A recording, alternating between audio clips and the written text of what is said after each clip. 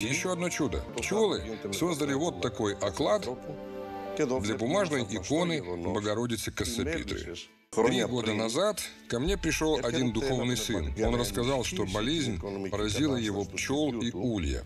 Я посоветовал окропить пчел и пасеку святой водой и положить в один из ульев икону. Два дня спустя пчелы выздоровели. И вот неописуемое чудо. Они сотворили оклад для этой прекрасной иконы нашей Божьей Матери. Это невероятно, но пчелы украшают только иконы. Мы проверяли, поместили в улей фотографию, и пчелы ее съели. А теперь позвольте мне показать икону святого Порфирия. Пчелы также украсили ее, оставив нетронутыми лик и руки. У нас хранятся его мощи. Святой исцеляет онкологических больных.